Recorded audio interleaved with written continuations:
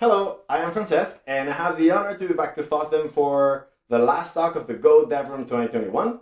And today I have the honor to share the stage with my friend and co-organizer of the Go DevRoom, Maartje. Hey Maartje, how are you doing? Hey Francesc, I'm doing well. How are you?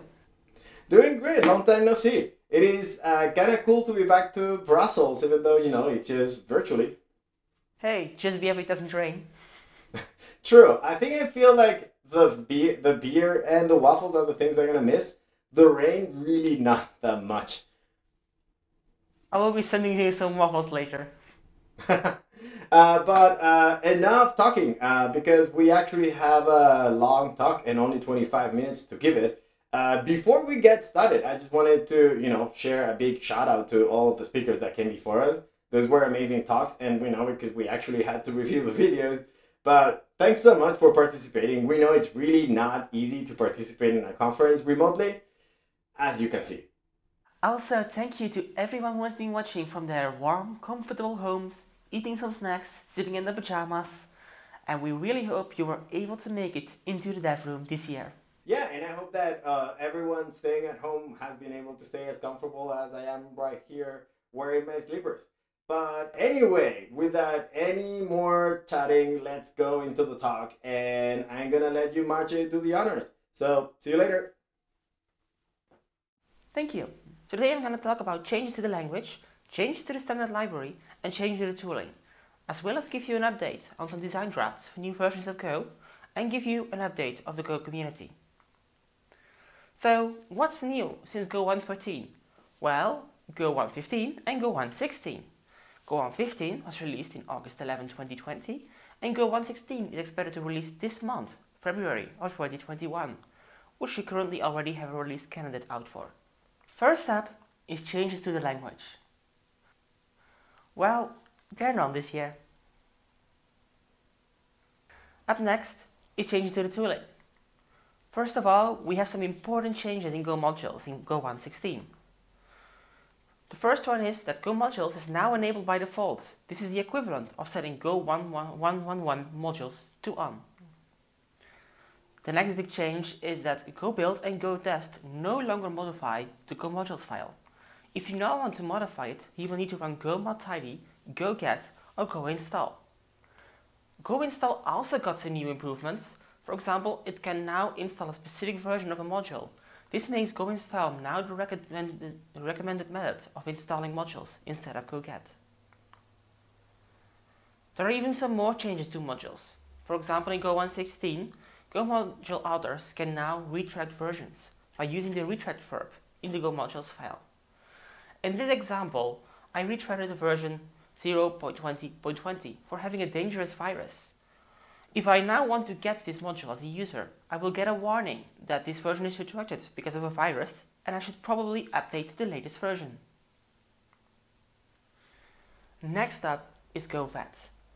Why are these changes important? Well, this could make your test fail, as GoVet is run on GoTest, updating to a new version could just make your test fail.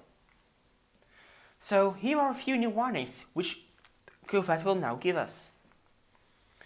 The first one is that it will warn us against string conversions from numeric types. It will also warn us for impossible interface conversions. And it will also warn you when t.fail is used inside a goroutine. Let's take a closer look. So this is the first one, which where a string conversion from a numeric type other than binary rune will now give you a warning. You might want to just convert your integer into a string by using a type conversion. However, this will not give you the, in, the integer value, it will give you its UTF-8 value, which is not the behavior you probably want to have. Let's take a closer look at this. So here we have a simple code program and we have a number which we want to pass to our function println. Our println only accepts a string, so something you might want to just try is to just cast your number into a string. When you do that, you will not get 1, 2, 3, 4, but you will get the letter A. This is because 1, 2, 3, 4 actually links to the A value in the UTF-8 alphabet. So if you now run GoVet, we will now get an error printed about by GoVet that we should not convert our integer into a string. It also marks that maybe we should just use the format function to print this number instead. Now, you might actually want to print the letter A using these methods. That's also possible if you use a value other than an integer. So just make it a rune. And we run GoVet again and it doesn't complain. And we still get our letter A. Another warning in Go 115 is that it will warn you against impossible interface conversions. It already did it, but it didn't catch everything. For example, when you had the same name signature of two interfaces, it would not error, even though they might have used different data types. Let's take a look at an example. Here we have two interfaces. We have a cat and we have an octocat. Both cats can meow, but only one can code. So when we now want to convert our octocat to our cat, we will now get a warning from Go, because our cat interface will actually return a string, while octocat does not. Previously, only the compiler would have warned against, so we really hope you don't catch this in your codebase. In Go 116, another warning got added to GoVet.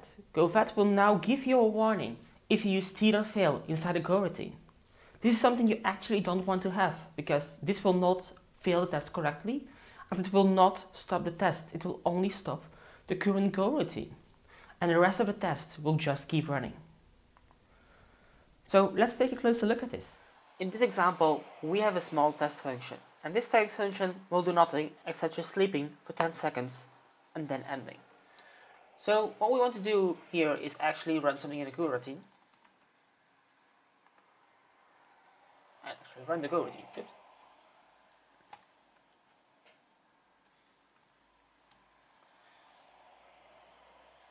Now let's look at a scenario where we will actually fail the test. So we'll use fail now and we'll make sure that something is not printed. When we run the test, it will actually keep running for 10 seconds and then fail.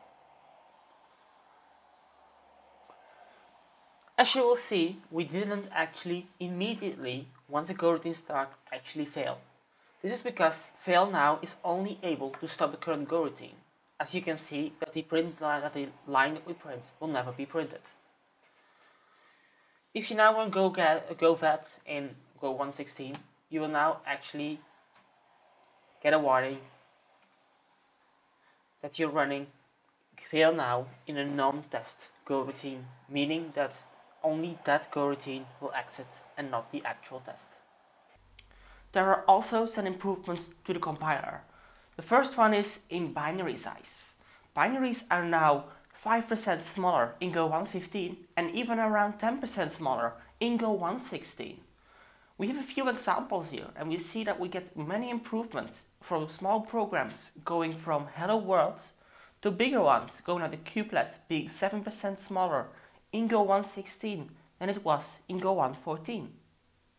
Go 115 also adds a Spectre flag to add in-binary mitigations for Spectre vulnerabilities on Intel systems. Go 115 also has an improved linker. The linker is now faster, more robust and uses less memory. That's all the things you want in a linker, right? Go 116 also adds a new improvements when it comes to inlining functions. The compiler will now be able to inline functions which have non-labeled loops method values, and type switches. The inliner will now also be able to inline more indirect calls. If we look here, we have a count numbers function and an isNumber function. When we now compile this in Go 116, we see that isNumber is getting inlined in our count numbers function. When we now benchmark this function, you will see that we have 28% increasement in performance in Go 116 compared to Go 114, thanks to this function now being inlined. Go 116 also tackles the very important problem of embedding static assets in Go. Why should you want to embed static assets? It makes your distribution way more easy. by not having to care about providing additional files on the file system and just having everything inside your single binary. It's a very common problem and many solutions to this problem exist. Many solutions will require you to run some extra commands, which you might put in a makefile, or you might work around this with GoGenerate. Here is a list of a few alternatives which to use for embedding files into Go. Or you could just use Go 116, which now has the embed directive. It integrates with Go build and Go run, so you don't have any additional steps when building your binary. And it uses this new directive, Go colon embed. Embed will now be able to embed your files into strings, slice of bytes, or the new embeddfs. About embeddfs, I will come back later. Next up is a standard library. We're gonna start by first the breaking changes. An important breaking change was added in Go 115 and has to do with X509 certificates. When now Go makes a TLS connection, it will no longer validate the hostname of the TLS server against the common name field of the certificate. This behavior actually has been deprecated since the year 2000, however many TLS clients like browsers still have this behavior built in. Starting in Go 115, Go will now only verify it against the subject alternate names of the certificate. So you wonder, am I affected? Well, first of all, you make sure that all your HTTPS and other TLS certificates make use of the DNS or URL SAN fields. If this sounds like nothing to you, then you probably don't have to worry, because most public certificate authorities will set this for you. If you run your own private CA, it might be worth to double check. Next up are some new packages. The first one is Runtime Metrics. Runtime metrics allows you to expose metrics throughout the codebase in one generic interface. All metrics now have a unique string key which you can address the metrics in. Let's look at an example. Here we have an empty main package which we now want to look at how much memory this code will be using when we run this. So previously I could just uh, look in several packages where I can find the memory statistics but now we have one interface which is runtime metrics. So what we can, do is we can define a variable, my metric. We're going to give the value, which you can find in the documentation, that we need memory classes total bytes. So this will get my total memory usage. And then next step is we need to get a sample. So we're gonna create a sample. And we want a sample of metrics are and our interface uses actually uses a slice for this. But we only want one so we just make one make a slice with length 1 then we need to give the sample a specific name. This name is the metric we want to fetch from our metric system. So we will just give sample 0 the name of my metric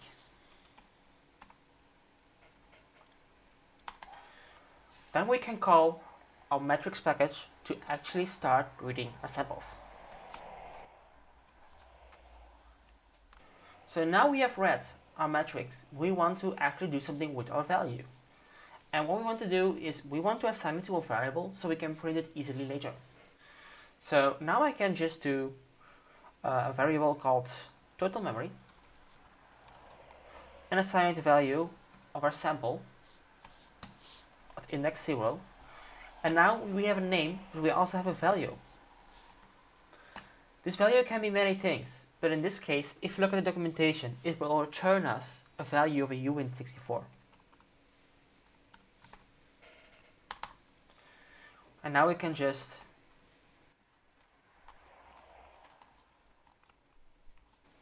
print the total memory. If we now run go metric.go, we will actually read this sample from our metrics library, put in the value inside a variable, and print it out and seeing how much memory my Go program is using every time I run it. In Go 116 we now have a new package called IOFS which gives us for the first time in the standard library an interface for a read-only file system. This interface provides us an FS, a file, file info, and a dir entry. This IOFS package now enables us to have a common minimal interface, what we can then compose upon, just like we have been doing with IO Reader and IO Writer. It also gives us some functionality on top of its interface, for example, fs.walk. Go 116 also gives us a new places where this file system interface is already been implemented. We now have os.dirfs, which gives us the file system interface back. We have embed.fs, which with our embed directive, we can now embed a whole file system, which we then can read using this interface in Go. We also have a zip reader, which we then can read files from a zip file using the file system interface. We also have now several consumers, like HTML and text templates will now be able to use the file system. And we also have net HTTP dir, which is able to serve over HTTP our file system.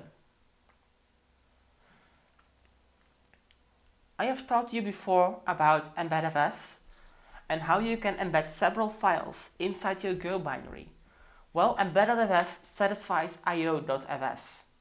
So we now can use go colon embed directory with several files, which we then can use our file system interface to read these files inside the binary.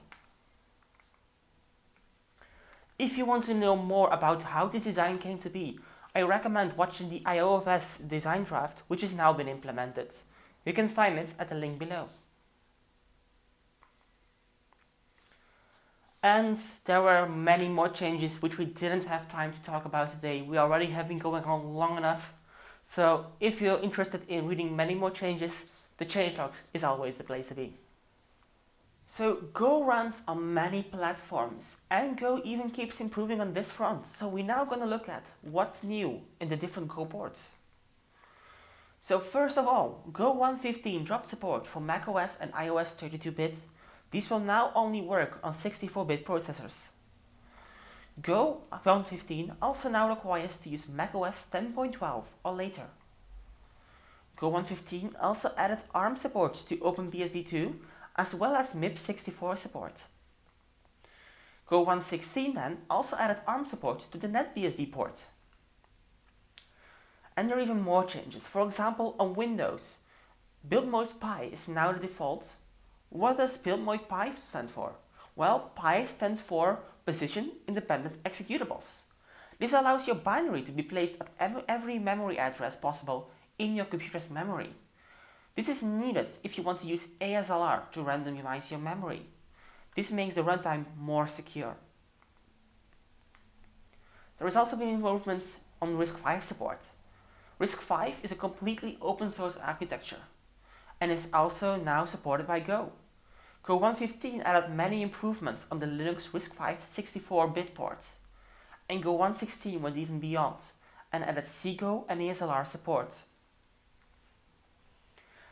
There has also been new requirements in Go 116 for x86 platforms. The minimum required Intel processor to run Go is now the Intel Pentium 4. This because SSE2 is now required. Talking about Intel, what's up with Apple Silicon?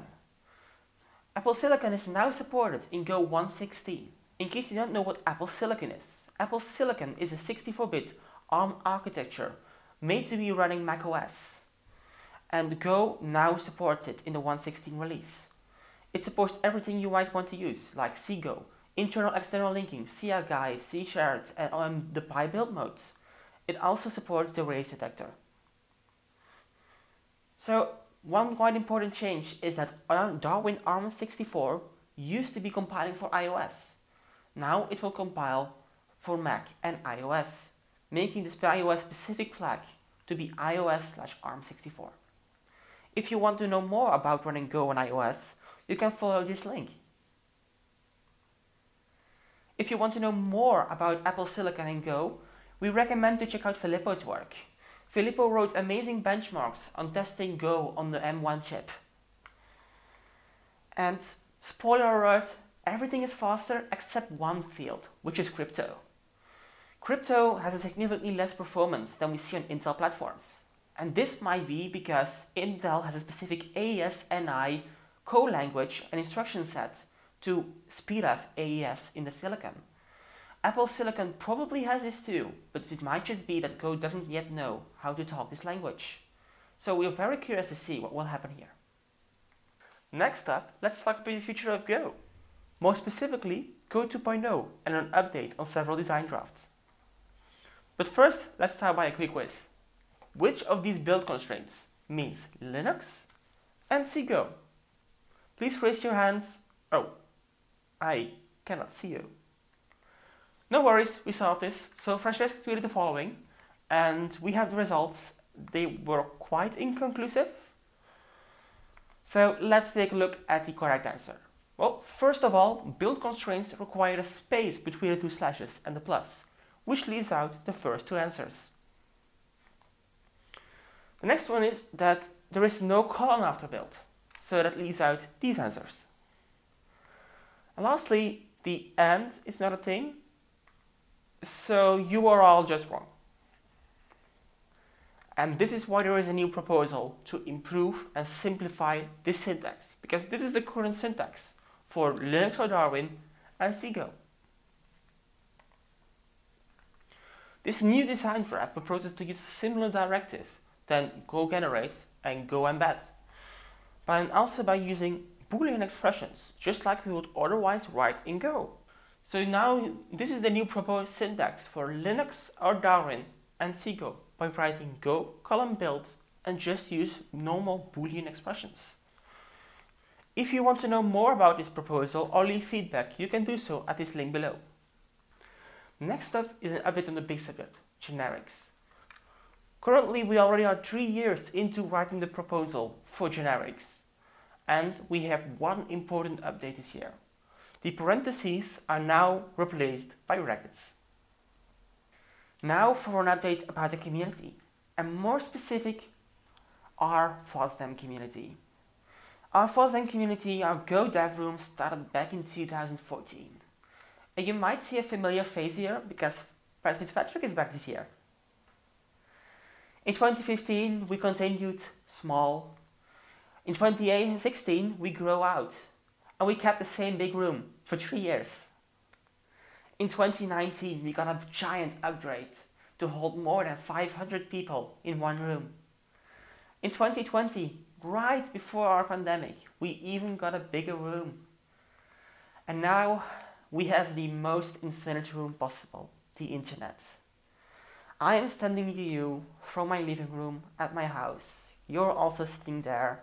Francesc's all the way over in San Francisco but we're all still joined together here at FOSDEM.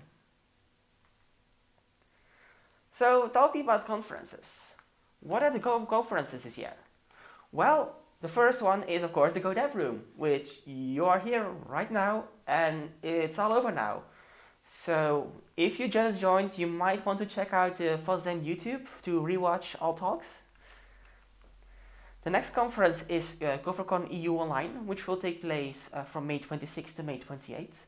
After that, there is also Conf42 Go, which will also be online on June 24th. And sadly enough, these are the only two Go conferences currently announced. So please get vaccinated. Thanks, Maartje. So that concludes our talk and the Go DevRoom at FOSDEM 2021. We didn't want to finish without thanking again you all for watching, thanking our amazing speakers and the organizers of FOSDEM. You did all an amazing job. And, you know, we just wanted to say take care and we hope to see you all this time in person back in 2022. Au revoir. Tot ziens. Goodbye. Pebble, come here.